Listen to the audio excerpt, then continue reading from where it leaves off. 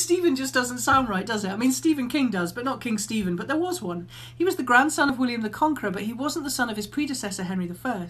Now, Henry I had lots of children, some of them were even legitimate, but the only surviving potential heir was Matilda, and she was snubbed in favour of Stephen. She didn't like that very much, so it led to years of civil war called the Anarchy. But I know you're not here to learn about that. You want to know about how King Stephen died. Weirdos. Anyway, Stephen, he died of a condition called apoplexy. In the 19th century, you, we use that to describe the disability brought on by a stroke. That could be from a clot to the brain, but also from a bleed. And the bleed's the important bit because apoplexy actually refers to bleeding into an internal organ. So it could be anywhere else. And for Stephen, it was into his gut. He had a disease in his bowel that meant that he was bleeding and he bled to death in that way. It would have been a pretty painful way to go for, for poor King Stephen.